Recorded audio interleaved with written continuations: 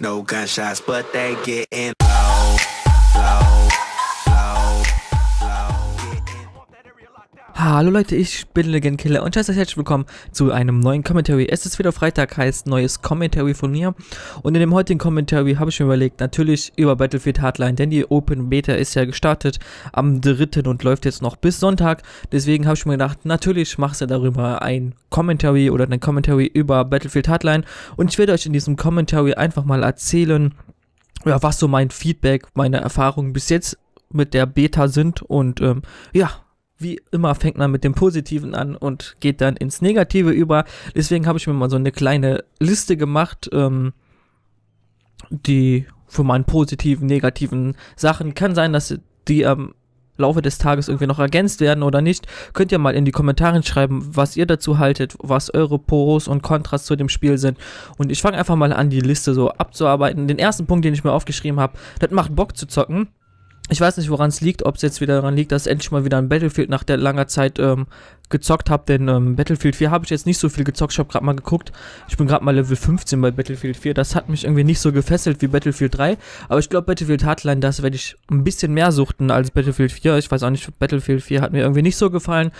Und ähm, ja, Battlefield Hardline scheint wohl ein Spiel zu sein, was ich wieder richtig suchten werde.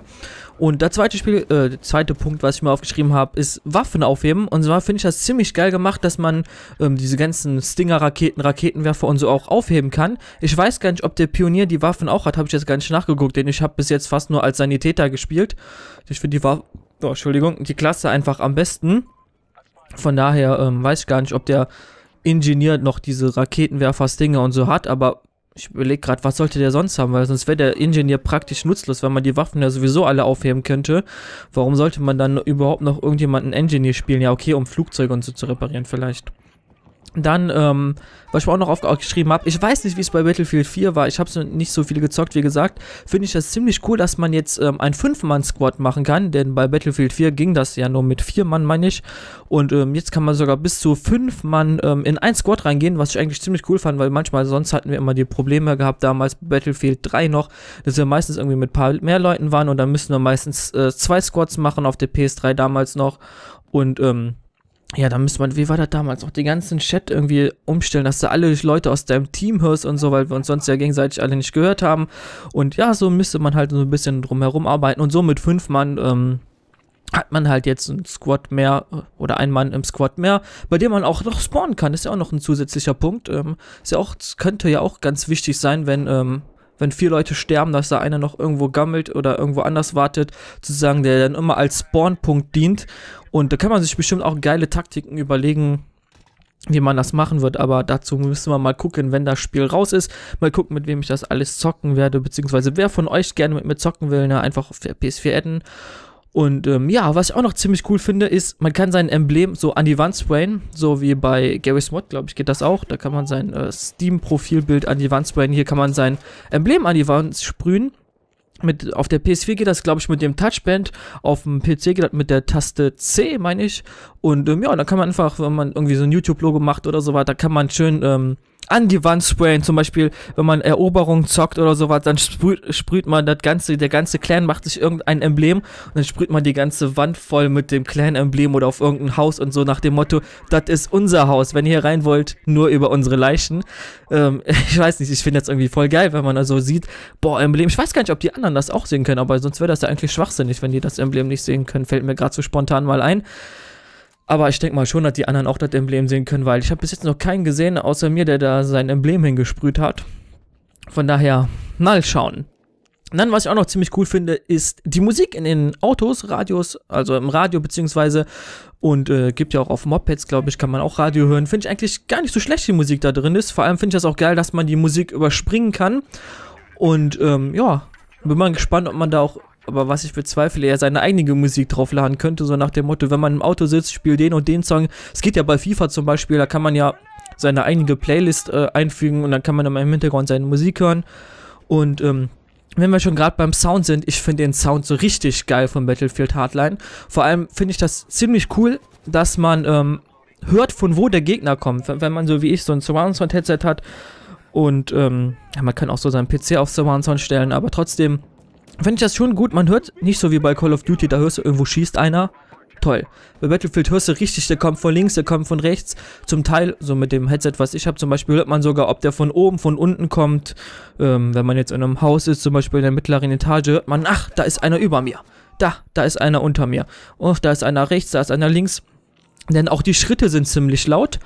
Und ähm, vor allem, was ich auch gut finde, ist, man kann ja die Türen auf und zu machen. Nicht auf jeder Map, aber auf vielen Maps kann man Türen auf und zu machen.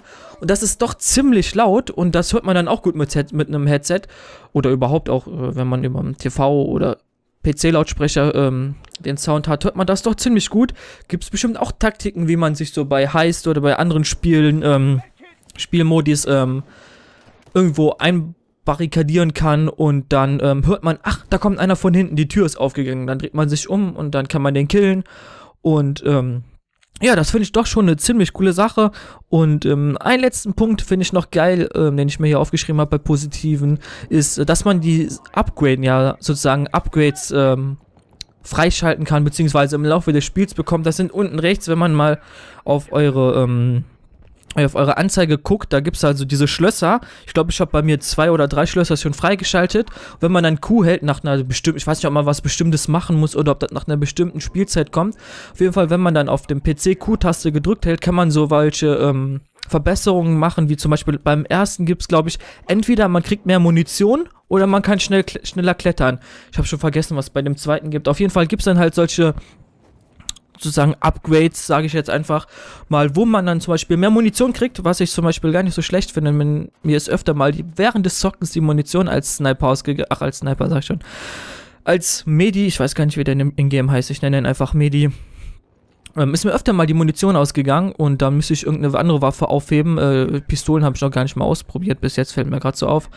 Und ähm, ja, das war es eigentlich mit meinen positiven Aspekten. Jetzt kommen wir mal ähm, zu meinen negativen Aspekten, die ich mir aufgeschrieben habe. Okay, ist es noch eine Beta? Ne? Und das Spiel kommt ja erst in einem Monat raus. Ich weiß gar nicht, ich habe immer 27. gesagt, weil ich immer dachte, das kommt am 27. Als ich auf Amazon gestern mal geguckt habe, stand der 19. Also, ich weiß nicht, 19. natürlich wäre besser, denn äh, umso früher, umso besser. Wenn das Spiel rauskommt, kann man es endlich zocken. Und ähm, ja, der erste Punkt, den ich mir aufgeschrieben habe, man stirbt manchmal ohne Leben zu verlieren man, also ich weiß nicht, ob das nur bei mir so war oder ob es euch auch so geht. Ich spiele, schieße auf irgendeinen und auf einmal bin ich tot.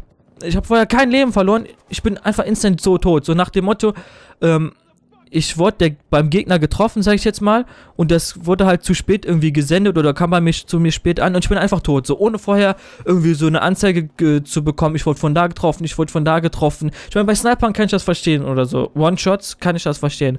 Aber nicht, wenn jemand mit einem Maschinenpistole direkt gegenüber steht. Wir haben beide die gleichen Waffen und dann gucke ich, ich habe den irgendwie 30 Leben abgezogen oder so, obwohl ich bei mir voll drauf war und äh, der hat mich einfach gekillt.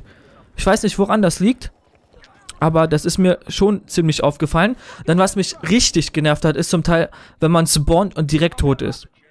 So wie, wie ich gerade erzählt habe, ich spawn irgendwo, meistens, okay, kann passieren, wenn man beim Squad äh, Mate spawnt, irgendjemanden aus dem Squad spawnt einfach und der gerade unter Beschuss ist und man stirbt. Kann ich verstehen. Aber kann doch nicht sein, dass wenn ich jetzt zum Beispiel bei Herrschaft, bei C, sage ich einfach mal, spawne und dass ich dann plötzlich einfach tot bin. Ohne irgendwie Schaden bei mir zu kriegen. Ich bin tot, gucke ich, der und der hat mich gekillt. Ich weiß nicht, woran das liegt. Finde ich schon ein bisschen schade. Meistens, ich weiß nicht, ob man immer halt an dem einen bestimmten Spawnpunkt äh, spawnt. Es gab ja, glaube ich, bei äh, Battlefield 3 ähm, wie hieß das, großer Bazar. Wenn man die Flagge A und C hatte, sind die Gegner zum Teil bei B in diesem einen Raum da gespawnt. Da konnte man sich dahinter eincampen und die Gegner sofort messern, als sie gespawnt sind. Das, ich weiß nicht, ob das bei Battlefield Hardline wieder so ist. Ich hoffe nicht, denn das wäre ein großer Minuspunkt, wie ich finde. Und ähm, ja, also so viel zu dem Thema. Da habe ich mir noch aufgeschrieben, dass ich die Shotgun ziemlich stark finde. Ich finde, äh, die meisten Shotguns sind einfach One-Shot.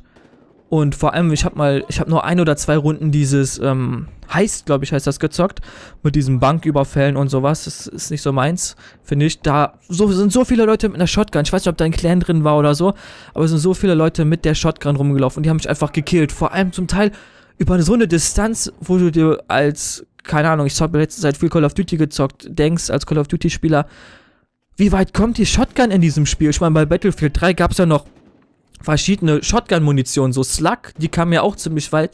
Ich glaube mit Spaß in Kombination oder Spaß 12.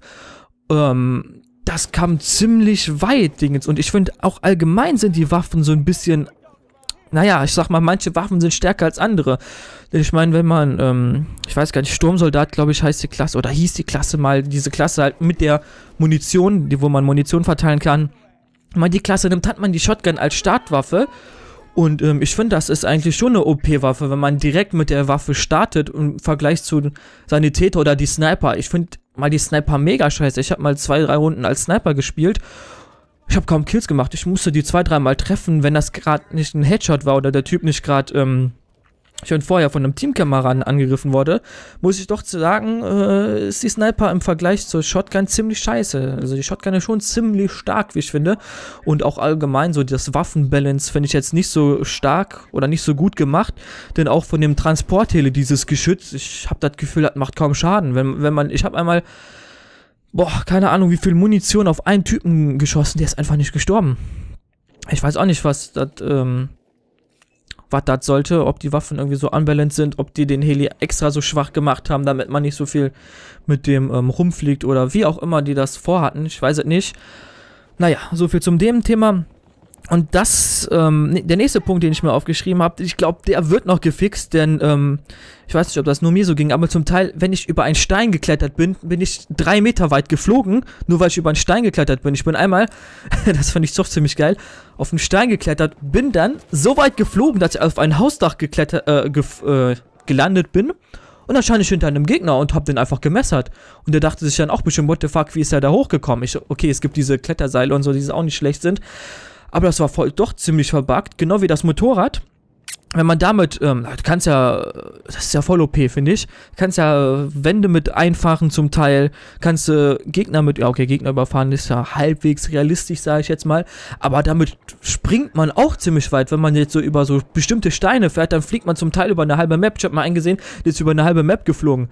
Aber ich glaube, das waren so Leute, die sie gerade so ein Spaßvideo gemacht haben und da irgendjemand C4 unter das Motorrad geklemmt hat und als sie dann über irgendeinen Stein gesprungen sind, haben die das gezündet und dann sind die da über die halbe Map geflogen. Hat mich aufgeregt, als ich es damals nicht aufgenommen habe, weil das doch ziemlich geil aussah. Naja, aber trotzdem dieses irgendwo drüber klettern und wegfliegen. Ich hoffe mal, das wird noch gebackt. Und ähm, was mir auch noch aufgefallen ist, äh, persönlich finde ich doch ziemlich schade, dass es kein schneller Nachladen gibt, denn äh, mir haben die Waffen persönlich zu wenig Munition zum Teil. Wenn man jetzt guckt, so 64 Mann Server bei Call of Duty kann man schneller nachladen und da spielt man, was ist das, 6 gegen 6 oder bei Bodenkrieg 8 gegen 8. Und ähm, ja, bei Battlefield ist das einfach zum größten Teil 32 gegen 32 Mann. Und wenn die Gegner nur eine Flagge haben, ich weiß gar nicht, ob ich das noch finde, habe ich einmal einen kurzen ähm, war das in irgendeiner Aufnahme? Da gucke ich auf die Minimap. Da waren nur rote Punkte. Ich glaube, das komplette Team ist bei mir bei C gespawnt. Ich wollte das nämlich gerade einnehmen und dann habe ich gesehen, C war das ein oder die einzige Flagge, die die Gegner noch haben. Und da sind, glaube ich, gerade alle gespawnt. Die ganze Minimap war rot. Und ja, wenn dann so drei Leute kommen, die killt man dann und dann, bis man nachgeladen hat, kommen schon die nächsten Leute. Das finde ich auch schon ein bisschen schade. Ich weiß nicht, ob ich, ähm, ob das so ein Upgrade gibt, wo, wo ich vorhin erzählt habe, wenn man Q drückt, zum Beispiel mehr Munition, schneller klettern. Ob es da auch noch ein Upgrade für geben wird, dass man, ähm, schneller nachladen kann. Ich hoffe mal. Ich weiß, es gibt noch so Fähigkeiten oder was, beziehungsweise Aufsätze, dass man mehr Munition hat, Magazinerweiterung, sowas. Aber bis man das mal freigeschaltet hat, die ganzen Kills gemacht hat, das dauert natürlich, ähm, auch noch ein bisschen. Und ähm, wo ich gerade von den Waffen rede, ich finde das auch ein bisschen, ja, sag ich mal, doof, ähm, wenn man als Neuling reinkommt und ähm, man muss halt die Anfangswaffen benutzen. Ist halt so. Und wenn dann irgendjemand kommt, der das Spiel schon ein bisschen länger zockt und der hat dann schon, was weiß ich, sich irgendeine Waffe für 40.000 gekauft, hat da schon seine, keine Ahnung, 100 Kills oder so, hat da schon Griff drauf, Magazinerweiterung und alles dann hat man, finde ich, zum Teil auf Fern keine, keine Chance gegen ihn. Er kämpft sich hinter irgendeinem Stein oder schießt vom Berg runter oder so. Und seine Waffe verzieht nicht, weil er Griff und alles drauf hat. Schon Visier, vielleicht kann er ein bisschen weiter zielen. Und man selbst hängt da ohne Griff, ohne gar nichts. Und, ähm, ja, hat dann eigentlich, wie ich finde, keine Chance. Denn ich finde das zwar einerseits nicht schlecht, dass man sich mit Geld alles kaufen kann in dem Spiel, also mit Ingame-Kohle, kann man sich auch diese Battle Packs und alles kaufen. Also diese Bronze, Silber und Gold, wo dann die ganzen Aufsätze, schwerer Lauf und sowas auch drin sein können. Unter anderem auch Boost, dass man schneller Level abkommt und so. Und, ähm, jetzt habe ich schon so viel gelabert, ich vergessen, was ich eigentlich sagen wollte. Auf jeden Fall, die Waffen sind ziemlich unbalanced. Ähm, ach ja, mit dem Kaufen. Man kann zwar Aufsätze und alles kaufen, aber man muss trotzdem vorher eine gewisse Anzahl an Kills gemacht haben. Das heißt, ich kann nicht direkt, wenn ich sehe, ich habe die Überwaffe, ich spiele ja zum Beispiel nur mit Sanitäter, kann ich mir nicht direkt eine geile Sniper kaufen, weil ich erstmal mit der Sniper-Klasse ein bisschen spielen muss, um da etwas freizuschalten. Und ich muss zum Beispiel 90 Kills machen, damit ich ja überhaupt einen Schalldämpfer, sag ich mal, draufpacken kann. Und ähm, das finde ich halt auch ein bisschen doof. Einerseits ist das natürlich gut, dass man sich direkt nicht einfach guckt, so, ja, ich spare jetzt, sag ich mal, 120.000, kauf mir direkt die beste Waffe, die es gibt, direkt einen Vordergriff und einen Schalldämpfer drauf.